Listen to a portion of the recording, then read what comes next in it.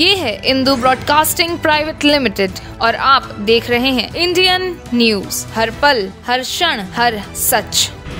उत्तर प्रदेश के सोनभद्र में एक मेधावी छात्रा को एक दिन की पुलिस अधीक्षिका नियुक्त किया गया। कुमारी दीक्षा केशरी ने पुलिस कार्यालय में फरियादियों की समस्याएँ सुनी। इस पहल का उद्देश्य महिलाओं के सशक्तिकरण को बढ़ावा देना है।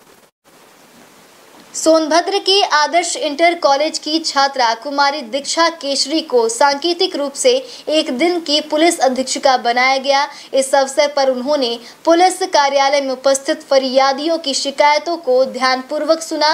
दीक्षा ने शिकायतों के न्यायपूर्ण निस्तारण के लिए आवश्यक दिशा निर्देश दिए। यह पहल मिशन शक्ति अभियान का हिस्सा है, जिसका लक्ष्य महिलाओं और बालिकाओं को संवैधानिक पदों पर प्रेरित करना है। पुलिस अधीक्षक अशोक कुमार मिड़ा और अन्य अधिकारियों ने इस मौके पर छात्रा का स्वागत किया